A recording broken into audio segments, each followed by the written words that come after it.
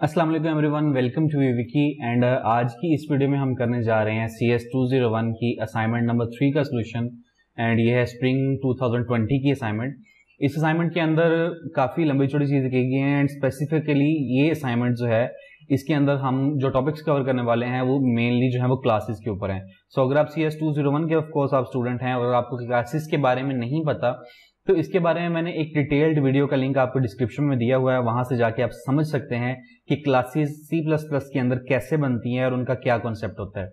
Plus आप of course आपने exams की तैयारी भी करनी है तो आप मेरे C S two zero one की पूरी सीरीज़ एक कंप्लीट तो नहीं है, लेकिन इनकम्प्लीट ही है, लेकिन उसमें थोड़े बहुत जो है, वो मेजर टॉपिक्स हैं सारे। एंड उसके थ्रू जो है, आप अपने एग्ज़ाम की तैयारी अच्छे से कर सकते हैं। तो जितनी भी चीज़ें आपको रिक्वायर होंगी, उनका लिंक आपको नीचे वीडियो के नीचे डिस्क्रिप्शन में मिल जाएगा। आप वहाँ से जाके उन चीज़ों को एक्सेस कर सकते हैं। तो चलें, अब हम देखते हैं कि इस असाइनमेंट के अंदर हमारे पास क्या है। सो so, ये अगर हम इसकी जो है वो क्वेश्चन फ़ाइल को रीड करना शुरू करें तो ये काफ़ी लंबी छोड़ी है। तो इसके लिए मैं आपको डायरेक्टली आपको ओवरव्यू दे देता हूँ कि इसमें हमने करना क्या है। इसमें हमारा बेसिक सा काम जो है वो यहाँ तक है। इसमें हमने एक क्लास बनानी है स्पोर्ट्स के नाम से एंड उसके अंदर हमने कुछ फ़ंक्शंस क्रिएट करने हैं। उसके अंदर हमने फ़र्स्ट ऑफ़ ऑल हमने डाटा मेंबर्स देने हैं इन इन नेम से। देन हमने उसके अंदर कुछ फ़ंक्शंस क्रिएट करने हैं एंड हर फ़ंक्शन के थ्रू हमने कुछ फंक्शनैलिटीज परफॉर्म करवानी है। सो so, अगर यूज़र जो है वो फ़र्स्ट वन प्रेस करता है तो फ़ाइल में इनपुट होना चाहिए। टू प्रेस करता है तो फ़ाइल के अंदर मौजूद डाटा रीड होना चाहिए। थ्री प्रेस करता है तो स्पेसिफिक फ़ंक्शन फोर करता है तो specific and of course five करता है तो स्पेसिफिक इसी तरह सो uh, ऑन so जो है वो डिफरेंट मेथड्स के थ्रू जो है हम डिफरेंट फ़ंक्शंस यहाँ पे परफॉर्म करेंगे। अब ये सारे का सारा काम जो है वो क्लासेस के अंदर होना है और ये सारी चीज़ें हमने क्लासेस के अंदर जो है वो कंप्लीट करनी है। सो so, अगर मैं सोल्यूशन आपके सामने आपको बना के दिखाऊँ तो काफ़ी टाइम लग जाएगा इसलिए सोल्यूशन फ़ाइल मेरे पास बनी पड़ी है ऑलरेडी एंड ये मैं आपको समझा देता हूँ कि इसके अंदर करना क्या है। वन मोर थिंग अगर आप यहाँ तक देख रहे हैं तो आपको एक और चीज़ बता दूँ इस सोल्यूशन फ़ाइल के अंदर एक छोटी सी मिस्टेक है और वो मिस्टेक है और अराउंड इस जगह पे आ, जहाँ पे हमने फ़ाइल को रीड करना है, जो रीड फ़ाइल का फ़ंक्शन है, उसके अंदर एक मिस्टेक है तो उस मिस्टेक को हमने कैसे कवर करना है, कैसे यहाँ से हमने खत्म करना है, वो हम देखेंगे। क्योंकि ये वाली जो फ़ाइल है, ये मुझे इंटरनेट से मिली थी एंड मैंने इसको काउंटर चेक किया और ये फ़ाइल बिल्कुल ठीक थी। और मेरे भी कॉन्सेप्ट यही थे और मैं भी इसी तरीके से बनाता। हाँ वेरिएबल नेम कुछ डिफरेंट हो सकते थे, लेकिन ये वही इंटरनेट की फ़ाइल है बट इसके अंदर कुछ मिस्टेक्स हैं और वो भी मैं आपको बताऊँगा कैसे दूर करनी है और इसके अलावा मैं आपको समझा भी देता हूँ कि इसके अंदर हमने करना क्या है। सो बेसिकली ये है कि हमने एक प्रोग्राम बनाना है जिसके अंदर मल्टीपल क्लासेस होंगी एंड उसके बाद यूज़र जो है उससे हम वैल्यूज़ पूछेंगे एंड यूज़र जो भी नंबर एंटर करेगा उसके अकॉर्डिंग हमारा प्रोग्राम रन होगा। सो so, अगर यूज़र कहता है कि वन प्रेस करना किया जाए तो वो वैल्यूज़ को रिकॉर्ड करेगा टू के लिए वैल्यूज़ को रीड करेगा थ्री के लिए वो उन वैल्यूज़ को बताएगा जो ए से स्टार्ट नहीं होती। फोर के लिए वो उन वैल्यूज़ को चेक करेगा, ये कितनी है, जो लोअर केसेस लेटर स्टार्ट होते हैं। फाइव दबाने से वो उन करेक्टर्स को शो करवाएगा जो अपर केस लेटर से स्टार्ट होते हैं एंड सिक्स दबाने से वो उन वैल्यूज़ को शो करवाएगा या उन वैल्यूज़ की तादाद को शो करवाएगा जो डिजिट से स्टार्ट होते हैं। इनका जो आउटपुट है वो यहाँ पे हमें हैंड ये जो क्वेश्चन फ़ाइल मिली है, इसके अंदर काफ़ी हद तक दिया हुआ है तो आप इसके साथ भी मैच कर सकते हैं जो हमारा आउटपुट आने वाला है। सो फ़र्स्ट ऑफ़ ऑल क्या होता है, जैसे आप लोगों को पता होगा कि जब भी हम कोई भी प्रोग्राम लिखते हैं सी प्लस प्लस में तो वो प्रोग्राम हमारा मेन से स्टार्ट होता है तो हम डायरेक्टली मेन पे आ जाते हैं एंड मेन से आके हम देखते हैं कि ये आगे कैसे काम करेगा। मेन में आने के बाद हमने क्या किया कि एक वेरिएबल बना लिया चॉइस के नाम से, क्योंकि हमने यूज़र से चॉइस लेनी है। और हम उसी चॉइस को अगेन स्विच के अंदर जो है वो पुट करेंगे। आप यहाँ पे इफ़ भी यूज़ कर सकते हैं, लेकिन जो गिवन कंडीशन है उसके अकॉर्डिंग स्विच जो है वो ज़्यादा एक्यूरेट रहेगा। देन हमने यहाँ पे क्या किया कि जो हमारी जो स्पोर्ट्स क्लास थी, उसका एक ऑब्जेक्ट यहाँ पे बनाया हुआ है। अब ये ऑब्जेक्ट्स क्या होते हैं और ये क्यों बनाते हैं, ये आप उस वीडियो के अंदर देख सकते हैं, जिसका लिंक मैं आपको डिस्क्रिप्शन में दे दूँगा। देन हमने यहाँ पे एक और बनाया है वेरिएबल करेक्टर आइटरेट के नाम से। इसका बनाने का मकसद ये था कि जब तक यूज़र चाहे इस पोर्शन को जो है वो रन करता रहे विच मीन्स कि जैसे ये पोर्शन इतना पोर्शन एग्जीक्यूट हो जाएगा तो वो हमारे यूज़र से पूछेगा कि क्या आप इस पोर्शन को इन स्टेप्स को दोबारा रिपीट करना चाहते हो? सो so, उसके लिए हमने एक वेरिएबल बना लिया। इसके अंदर यूज़र वाई या एन या कुछ भी इस तरह लिखेगा एंड जो भी वैल्यू वो यहाँ पे पुट करेगा उस वैल्यू की बेसिस पे ये प्रोग्राम रिपीट होगा या नहीं होगा। एंड इसको हमने रख दिया है डू के अंदर ताकि जब ये प्रोग्राम चले एटलीस्ट ये एक बार रन हो। एंड उसके बाद यूज़र जिस टाइप की वैल्यूज़ को पुट करता है उसकी बेसिस पे डिपेंड करे कि दोबारा इसने रन होना है या नहीं। सो so, जब हम आए स्विच के अंदर तो स्विच के अंदर हमने आके क्या किया कि हमारे पास वन से लेके सिक्स तक वैल्यूज़ थी यहाँ पे। तो हमने उसके जो है वो छह केसेस बना लिए। एंड हर केस के अंदर हमने एक फ़ंक्शन जो है वो कॉल करवा लिया using our object which is sport तो सपोर्ट डॉट इनपुट फ़ाइल अगर वन करता है तो इनपुट फ़ाइल का फ़ंक्शन एग्जीक्यूट हो टू करता है तो रीड फ़ाइल का एंड सो ऑन करते करते फोर पे लोअर का फाइव पे अपर का एंड सिक्स पे डिजिट का फ़ंक्शन जो है ये एग्जीक्यूट होना चाहिए। आप इन फ़ंक्शन के नेम जो है वो चेंज नहीं कर सकते, क्योंकि ये रिक्वायरमेंट के अंदर लिखा हुआ है कि हमने ये वाले फ़ंक्शंस बनाने हैं सो आप इनके नेम्स जो हैं वो चेंज नहीं कर सकते। आप अगर चाहें तो यहाँ पे हमारे पास जो ऑब्जेक्ट नेम है, आप इसको चेंज कर सकते हो अकॉर्डिंगली फिर आपको जितनी भी जगह पे ये सपोर्ट लिखा हुआ है, उतनी जगह पे ये सपोर्ट जो है वो चेंज करना पड़ेगा। सो फ़र्स्ट ऑफ़ ऑल यहाँ से हम दो या तीन देख लेते हैं इनपुट फ़ाइल देख लेते हैं रीड फ़ाइल ऑफ़ कोर्स हमें ये देखना पड़ेगा, ये लाजमी है एंड उसके अलावा हम इनमें से कोई एक देख लेते हैं, और आपको समझा देता हूँ कि ये फ़ंक्शंस कैसे काम करते हैं। सो फ़र्स्ट ऑफ़ ऑल अगर यूज़र वन प्रेस करता है तो यहाँ पे केस वन एग्जीक्यूट होगा सपोर्ट डॉट इनपुट फ़ाइल जो है वो एग्जीक्यूट हो जाएगा, यानी कि हमारा सपोर्ट क्लास के अंदर इनपुट फ़ाइल का फ़ंक्शन एग्जीक्यूट हो जाएगा। अब वो कहाँ पे पड़ा हुआ है? वो पड़ा हुआ है हमारे प्रोग्राम के टॉप पे। तो ये रही हमारी सपोर्ट क्लास इसके अंदर हमारे पास जो वेरिएबल्स हमें रिक्वायर्ड थे, जो डाटा मेंबर्स हमें रिक्वायर्ड थे, वो हमने बना लिए। हम यहाँ पे करेक्टर के भी बना सकते थे, लेकिन क्लासेस के अंदर जब हम करेक्टर्स बनाते हैं तो वो हमें करेक्टर एरे बनाना पड़ता है, अगर आप करेक्टर्स का डाटा स्टोर करना चाहते हो तो वो हमें एरे बनाना पड़ेगा, जो हमें पॉइंटर का बनाना पड़ेगा। तो उसके लिए फिर हमें डिफरेंट मेथड जो हमें यूज़ करने पड़ेंगे लाइक सेटर्स एंड गेटर्स अगर आपको नहीं पता तो अगेन आई रिपीट उस वीडियो से आपको पता चल जाएगा कि ये क्या होता है। तो ये प्रोग्राम काफ़ी लेंथी हो जाना था, इसलिए डायरेक्टली स्ट्रिंग यूज़ कर लिया एंड प्रोग्राम को समझा दिया कि स्ट्रिंग क्या होता है। देन हम बात कर रहे थे इनपुट फ़ाइल की तो ये रहा हमारा इनपुट फ़ाइल का फ़ंक्शन यहाँ से लेकर अराउंड यहाँ तक। इस पूरे फ़ंक्शन के अंदर हमने क्या किया कि अगर यूज़र वन एंटर करता है तो प्रोग्राम जो है वो एग्जीक्यूट होगा इतने पोर्शन के अंदर अंदर। सिर्फ़ इतना पोर्शन एग्जीक्यूट होगा एंड इस पोर्शन के अंदर क्या एग्जीक्यूट होगा? सबसे पहले तो ये वाली line which is twenty one यहाँ से लेके यहाँ तक, ठीक है? ये वाली लाइन एग्जीक्यूट होगी कि राइटिंग इन द फ़ाइल उसके बाद वो यूज़र से प्लेयर का नेम पूछेगा। वो प्लेयर नेम में चला जाएगा, उसके बाद यूज़र से गेम का नेम पूछेगा गेम नेम में चला जाएगा एंड टोटल विन्स पूछेगा, वो वहाँ पे चली जाएँगी। जैसे ही ये डाटा इस पोर्शन के अंदर स्टोर होगा, उसी, इस डाटा के रिलेटेड जो है, एक फ़ाइल क्रिएट की जाएगी ऑफ़ स्ट्रीम यानी कि आउटपुट स्ट्रीम जो है यहाँ पे की जाती है फ़ाइल को क्रिएट करने के लिए। तो जिस फोल्डर के अंदर ये वाली फ़ाइल पड़ी होगी सीपीपी फ़ाइल उसी फोल्डर के अंदर सैंपल डॉट टी नाम से एक टेक्स्ट डॉक्यूमेंट फ़ाइल जो है वो बन जाएगी टेक्स्ट फ़ाइल बन जाएगी एंड ये सैंपल भी नेम आप चेंज नहीं कर सकते, क्योंकि यहाँ पे एक रिक्वायरमेंट के अंदर लिखा गया है कि आपने सैंपल फ़ाइल जो है वो एग्जीक्यूट करनी है। तो इसके अंदर हम नाम चेंज नहीं कर सकते, क्योंकि नाम इन्होंने गिवन दिया हुआ है सैंपल डॉट टी फ़ाइल अब इतना जो पोर्शन है, ये वर्ड इनपुट वाला जब ये एग्जीक्यूट होगा यूज़र से वो वैल्यूज़ लेगा इतने पोर्शन में। इतने पोर्शन के अंदर वो फ़ाइल के अंदर जो है वो एक फ़ाइल क्रिएट करेगा सबसे पहले sample dot T X T extension की एंड उसके अंदर जो डाटा यहाँ पे यूज़र एंटर करेगा, उस डाटा को स्टोर कर लेगा। And if in any case file अगर नहीं क्रिएट होती समटाइम्स सिक्योरिटी इश्यूज़ होते हैं एडमिनिस्ट्रेटर इश्यूज़ होते हैं तो फ़ाइल अगर क्रिएट नहीं होती तो हमारे स्क्रीन के ऊपर ये वाला एरर आ जाएगा कि can't open input file named sample dot T क्योंकि किसी भी रीजन की वजह से ये फ़ाइल जो है वो ओपन नहीं हो रही क्रिएट नहीं हो रही। एंड उसके बाद जैसे ये यहाँ पे इतने पोर्शन में फ़ाइल क्रिएट हो जाती है, इन लाइंस की वजह से वो डाटा जो यूज़र ने एंटर किया है, वो उन फ़ाइल के अंदर एंटर हो जाएगा। Player name game name and total wins और वो एंटर करने के बाद उस फ़ाइल को क्लोज कर देगा, यानी कि सेव करके बंद कर देगा। एंड उसके बाद हमारे पास लिखा आ जाएगा data have been entered in file ठीक है ये सारी चीज़ें यहाँ पे हो जाएँगी। सो so, अब हम इस स्टेप को परफॉर्म करके देखते हैं कि क्या वन दबाने से ये होता है एंड अगर होता है तो क्या फ़ाइल क्रिएट होती है। तो हमने क्या करना है कि इस फोल्डर को हम ओपन कर लेते हैं एंड देन इसके साथ ही हम यहाँ पे अपना डेव जो है वो भी ओपन कर लेते हैं ठीक है? अब ये वाला वो फोल्डर है जिसके अंदर ये फ़ाइल पड़ी हुई है आप ये देख सकते हैं C S two zero one की असाइनमेंट नंबर थ्री ये फ़ाइल नेम यहाँ पे पड़ा हुआ है एंड ये तो चलो क्वेश्चन फ़ाइल है।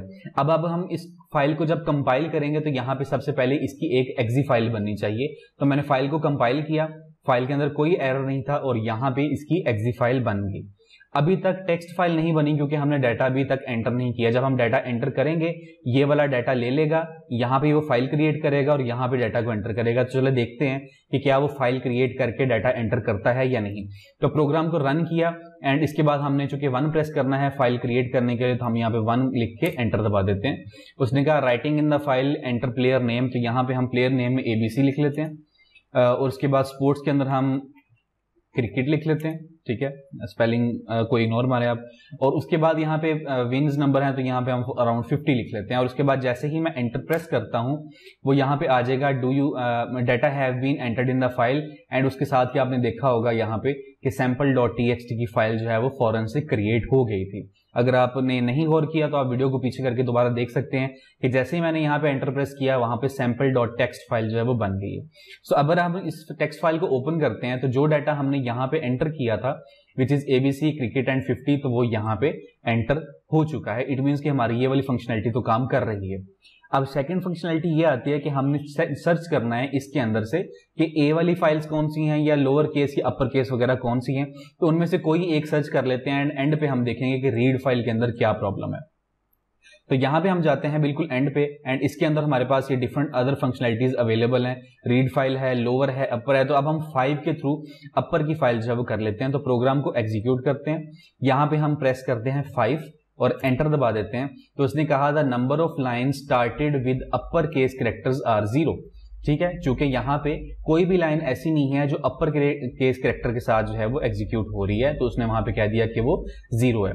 तो अगर मैं वाई दबा के येस करता हूँ और कंटिन्यू करता हूँ तो अब हम यहाँ पे अपर के बजाय लोअर कर लेते हैं फोर कर लेते हैं एंड अब इसको टू कहना चाहिए तो उसने कह दिया यहाँ पे टू है बिकॉज़ यहाँ पे एबीसी लोअर केस और क्रिकेट लोअर केस ये तो डिजिट है इसलिए इसने एग्जीक्यूट नहीं किया।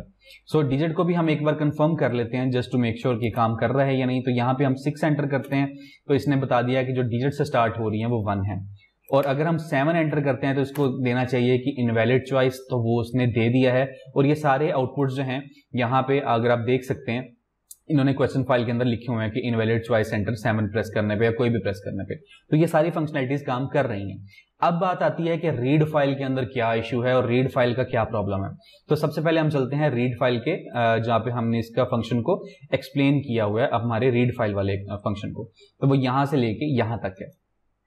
अब इस फ़ंक्शन के अंदर अगर आप देखें तो सबसे पहले तो यह है कि हमने फ़ाइल को रीड करना है। फ़ाइल को कौन सी फ़ाइल रीड करनी है? हमारे फोल्डर के अंदर एक फ़ाइल पड़ी हुई है सैंपल डॉट टी के नाम से, और हमने उस फ़ाइल को रीड करना है। इतने पोर्शन के अंदर वो चेक करेगा कि वो फ़ाइल अवेलेबल है या नहीं, और हमने उसको रीड करने के लिए उसको ओपन करना है क्या वो ओपन होती है या नहीं। अगर ये इन तीन लाइंस का प्रोग्राम सक्सेसफुली एग्जीक्यूट हो जाता है तो उसके बाद हम अगला पोर्शन जो है वो एग्जीक्यूट करेंगे। अगले पोर्शन में हमने क्या किया? हमने यहाँ पे इफ़ लगाया इफ़ इन इन फ़ाइल यानी कि अगर ये इन फ़ाइल का फ़ंक्शन सक्सेसफुली एग्जीक्यूट होता है, यानी कि फ़ाइल वहाँ पे एग्जिस्ट करती है तो वो क्या करेगा? यहाँ पे एक स्ट्रिंग क्रिएट कर दिया dt के नाम से। आप ये डिफरेंट नाम से सेव कर सकते हैं डाटा के नाम से या कुछ भी लिख सकते हैं। ये जस्ट एक रेफरेंस आप कह सकते हैं, एक रेफरेंस वेरिएबल है काइंड ऑफ़ ठीक है तो हमने यहाँ पे एक वेरिएबल क्रिएट किया स्ट्रिंग का। एंड इसका पर्पज क्या था कि इन फ़ाइल के अंदर, यानी कि हमारी फ़ाइल के अंदर जो डाटा पड़ा हुआ है वो dt की तरफ़ ट्रांसफ़र करे, यानी कि डाटा की तरफ़ ट्रांसफ़र करे एंड हम उस डाटा के थ्रू जो है, उस डाटा को, यानी कि जो भी हमने इसके अंदर यहाँ पे लिखा हुआ है, इसको स्क्रीन के ऊपर शेयर करवा लेंगे। एंड जैसे ही यहाँ पे इसको डाटा मिलता जाएगा, ये वाइल लूप चलती जाएगी। जब तक इसको डाटा मिलता जाएगा वाइल लूप चलती जाएगी एंड वो डाटा जो है, वो स्क्रीन के ऊपर आउटपुट होता जाएगा। जैसे ही फ़ाइल खत्म हो जाती है, खाली हो जाती है वाइल लूप को ज़ाहिर डाटा नहीं मिलेगा। जब उसको डाटा नहीं मिलेगा तो वो टर्मिनेट हो जाएगी। एंड जैसे ही वो टर्मिनेट होती है हम अपनी फ़ाइल को क्लोज कर देंगे। फ़ाइल को क्लोज करना लाजमी है। फ़ाइल को अगर हम क्लोज ना करें तो वहाँ पे मेमोरी लीक्स जैसे इश्यूज़ जो हैं वो बन सकते हैं जो कि आप आगे लेक्चर नंबर 27, 28 के अंदर आप लोग पढ़ेंगे। सो so, अगर ये कंडीशंस नहीं होती यानी कि अगर उसको फ़ाइल नहीं मिलती या फ़ाइल एग्जीक्यूट नहीं होती तो वो हमें एरर दे देगा can't open input file named और आगे फ़ाइल का नेम हमने कॉल करवा लिया कि जो जो फ़ाइल आप ओपन करवाना चाहते हैं वो ओपन नहीं हो सकती। हो सकता है कि वो फ़ाइल एग्जिस्ट ही नहीं करती, या हो सकता है उस फ़ाइल के ऊपर कोई सिक्योरिटी इश्यूज़ हैं तो उस वजह से वो फ़ाइल को एक्सेस नहीं मिल रही इस प्रोग्राम के थ्रू यहाँ तक देखने में तो बिल्कुल ठीक है। अब अगर हम इसको रन करते हैं, और रन करने के बाद यहाँ यहाँ पे टू प्लस करता हूँ तो यहाँ पे उसने अपना डाटा जो है वो मुझे शो करवा दिया which is ABC cricket and fifty और आगे पूछ लिया do you want to continue good है। लेकिन अगर मैं क्या करता हूँ, इस फ़ाइल के डाटा को खाली कर देता हूँ, और इसको सेव कर लेता हूँ, और इसको बंद कर देता हूँ, अब ये सैंपल फ़ाइल के अंदर कुछ नहीं पड़ा हुआ। लेकिन जब मैं इसको रन करता हूँ और टू प्रेस करता हूँ तो यहाँ पे मुझे किसी किस्म का कोई एरर या कोई भी मैसेज शो नहीं करवा रहा कि फ़ाइल के अंदर आपने जो टू प्रेस किया है, उसकी वजह से कोई इंपैक्ट पड़ा है या नहीं। जबकि हमारी क्वेश्चन फ़ाइल के अंदर अगर आप देखें तो पहले जो दो स्क्रीनशॉट्स हैं, उनके अंदर यही चीज़ सबसे पहले बताई गई है कि वो अगर टू प्रेस करता है और उसने फ़ाइल को क्रिएट नहीं किया हुआ अभी तक तो हमारा प्रोग्राम शो करवाएगा file is empty populate the file first यानी कि अगर फ़ाइल एग्जिस्ट नहीं करती या फ़ाइल नहीं बनती, फिर तो वो कह देगा कि कांट क्रिएट फ़ाइल जो हमने यहाँ पे एरर लिखा हुआ है। लेकिन अगर फ़ाइल एग्जिस्ट करती है, लेकिन उसके अंदर डाटा नहीं है तो उसको कहना चाहिए कि फ़ाइल आपकी खाली पड़ी हुई है। तो उसके बाद हमारा यूज़र क्या करेगा? पहले वन प्रेस करेगा, उसमें डाटा एंटर करेगा, फिर टू के थ्रू जो है उस डाटा को रिट्रीव करेगा। तो अब हमने यहाँ पे क्या करना है? हमने यहाँ पे एक ऐसा चेकसम लगाना है एक किस्म का, जिससे हमारा प्रोग्राम जो है वो ये चेक करे कि अगर फ़ाइल एम है तो उसको उसने किस तरीके का एग्जीक्यूट करना है। इसको करने के दो से तीन मेथड हैं। एक तो इज़ एम का फ़ंक्शन होता है उसके लिए उसको आपको पहले उसको डिफाइन करना पड़ता है इस एम्पटी को और उसके बाद उसको आप यूज़ कर सकते हैं। उसके बाद टेल जी का फ़ंक्शन होता है जिसके थ्रू हम फ़ाइल की लेंथ के थ्रू हम कर सकते हैं। सो अगर उसकी फ़ाइल लेंथ यानी कि उसमें कोई करेक्टर नहीं है file length is equal to zero है तो फिर हम उसको कह देंगे कि फ़ाइल इज़ एम्प्टी तो इस हमारे केस में यहाँ पे क्या है कि हम ज़्यादा इसको लंबा चौड़ा नहीं करना चाहते तो इसके अंदर जो बेस्ट मेथड मैंने सोचा है वो ये था कि जब ये हमारी वाइल लूप चलेगी और ये इसकी फंक्शनैलिटी को रीड करेगी तो उसके बाद ये जो स्टेटमेंट्स हैं, इसने, इस स्टेटमेंट्स में तभी एग्जीक्यूट होना है जब वाइल लूप को किसी तरह का कोई स्पेसिफिक डाटा मिलेगा इस फंक्शनैलिटी के अंदर। क्योंकि यहाँ पे एक चेकसम है गेट लाइन है लाइन को रीड करना है तो लाइन को तभी रीड करेगा जब वहाँ पे लाइन अवेलेबल है। अगर उसको कोई भी लाइन अवेलेबल नहीं मिलती पूरी फ़ाइल के अंदर तो वो उसको रीड ही नहीं करेगा और हमें कुछ नहीं मिलेगा और उसके बाद ही हमें ऐसा कुछ मैसेज शो करवाना चाहिए कि आपकी फ़ाइल एम्प्टी है। तो उसके लिए हम क्या करते हैं, सबसे पहले हम यहाँ पे एक वेरिएबल क्रिएट करते हैं इंट और यहाँ पे आप ये किसी किस्म का भी एक वेरिएबल नेम लिख सकते हैं। तो नॉर्मली जब एक्सेप्शन वगैरह थ्रो करनी होती है तो हम फ्लैग का नाम यूज़ करते हैं। इसका कोई लाजमी नहीं है कि आपने फ्लैग ही यूज़ करना है, लेकिन फ्लैग का वर्ड तब यूज़ किया जाता है जब नॉर्मली हम कोई एक्सेप्शन वगैरह यूज़ करना चाहते हैं। So in flag is equal to मैं कर देता हूँ ज़ीरो सेमिकॉलन। एंड उसके बाद क्या करते हैं कि हमारी ये जो वाइल लूप है इसके अंदर ये जो स्टेटमेंट है इस स्टेटमेंट के आगे हम अपने फ्लैग को प्लस प्लस कर देते हैं। यानी कि हम यहाँ पे अपने फ्लैग के अंदर इंक्रीमेंट कर देते हैं। सो so, हमने फ्लैग को ज़ीरो से इनिशलाइज किया और उसके बाद यहाँ पे हमने इंक्रीमेंट कर दिया। सो so, इसका मतलब यह है कि अगर ये वाइल ग्रुप को एक भी लाइन मिल जाती है तो ये वाली जो स्टेटमेंट है ये एटलीस्ट एक बार एग्जीक्यूट हो जाएगी। एंड अगर ये एग्जीक्यूट हो जाती है तो हमारी फ्लैग की वैल्यू जो है वो चेंज हो जाएगी। वन टू थ्री फोर जितनी बार भी ये एग्जीक्यूट होगी उतनी बार वैल्यू चेंज हो जाएगी। ठीक है? इसके बाद हमारा कोई लेना देना नहीं है। देन हम क्या करते हैं कि वाइल लूप से बाहर आ जाते हैं। एंड यहाँ पे आके आ, हम एक मैसेज जो है वो सी आउट करवा देते हैं इफ़ को यूज़ करते हुए कि इफ़ और उसके बाद हम यहाँ पे लिखते हैं फ्लैग डबल इक्वल्स ज़ीरो तो उसके बाद हमें मैसेज जो है वो स्क्रीन के ऊपर शो करवा दे। ये वाला मैसेज जो इन्होंने हमें शो करवाने के लिए कहा था which is file is empty populate the file first तो वो हम यहाँ पे लिख देते हैं इसके अंदर। सो so, हमने यहाँ पे लिख दिया C out file is empty comma populate the file first अब यहाँ पे क्या होगा कि फ्लैग का एक वेरिएबल बीच में आ गया। अब फ्लैग यहाँ पे अंदर लगा हुआ है। अगर ये स्टेटमेंट एग्जीक्यूट होती है तो फ्लैग की वैल्यू चेंज हो जाएगी, यानी कि ज़ीरो नहीं रहेगी तो इतना पोर्शन एग्जीक्यूट ही नहीं होगा। एंड अगर ये वाली स्टेटमेंट एग्जीक्यूट नहीं होती तो फ्लैग की वैल्यू ज़ीरो रहेगी। एंड देन ये वाली इफ़ जो है वो एग्जीक्यूट होगी। सो जस्ट इन केस अगर ये इफ़ भी एग्जीक्यूट नहीं होती और ये इफ़ भी एग्जीक्यूट नहीं होती तो हमारा एल्स जो है वो एग्जीक्यूट हो जाएगा। इसका तो फ़र्क ही नहीं पड़ता अगर ये हो या ना हो लेकिन अगर ये इफ़ एग्जीक्यूट नहीं होती तो ना ये वाली होगी और एल्स हमारा एग्जीक्यूट हो जाएगा। सो so, अब हम रन करके देखते हैं कि क्या हमारा program with data and without data हमें अप्रोप्रिएट जो हमें चाहिए था वो हमें देता है या नहीं। सो so, अब हमारे पास यहाँ पे फ़ाइल जो है हमारे पास ऑलरेडी एम पड़ी हुई है प्रोग्राम को कंपाइल करके रन करते हैं। एंड उसके बाद मैं यहाँ पे टू प्रेस करता हूँ। तो यहाँ पे एंटर प्रेस करने पे उसने कह दिया कि फ़ाइल इज़ एम्प्टी आप उसके अंदर डाटा जो है वो इंसर्ट करो। तो जस्ट इन केस हम अपनी तरफ़ से कोई डाटा यहाँ पे इंसर्ट कर लेते हैं तो उसके बाद अगर मैं दोबारा इसको कंपाइलर रन करता हूँ या अकेला रन करता हूँ तो यहाँ पे आप देख सकते हैं कि जो डाटा वहाँ पे पड़ा हुआ था, वो डाटा उसने मुझे वहाँ पे शो करवा दिया एंड किसी किस्म का एरर इसने मुझे यहाँ पे अब शो नहीं करवाया। सो so, ये था complete solution C S two zero one की असाइनमेंट का। ये असाइनमेंट की फ़ाइल जो है आपको मेरी वेबसाइट पे मिल जाएगी उसका लिंक आपको डिस्क्रिप्शन में मिल जाएगा। आप वहाँ से जाके ये फ़ाइल को एक्सेस कर सकते हैं। एंड कोशिश कीजिएगा कि आप इस फ़ाइल को खुद से रिक्रिएट करें। एंड जहाँ जहाँ पे कुछ वेरिएबल्स जो हैं वो डिफरेंट नेम के यूज़ किए जा सकते हैं। जैसे यहाँ पे मैंने इन फ़ाइल यूज़ किया था, आप उसको चेंज कर सकते हो। एंड इसी तरह जहाँ मैंने आपको बताया था डीटी मैंने यूज़ किया था, आप उसको चेंज कर सकते हो। एंड सो ऑन जो चीज़ें आप चेंज कर सकते हो, वो आप कर लेना अदरवाइज़ आप उसको सेम एज इट इज़ ही रहने दे सकते हैं। एंड यहाँ पे हमारे प्रोग्राम के अंदर अब किसी किस्म का कोई एरर नहीं है और हमारा प्रोग्राम जो है वो प्रॉपरली एग्जीक्यूट भी हो रहा है हमारी रिक्वायरमेंट्स के according so thanks for watching this video and इस वीडियो को अपने दोस्तों के साथ लाजमी शेयर कीजिएगा। टेक केयर अल्लाह हाफिज़।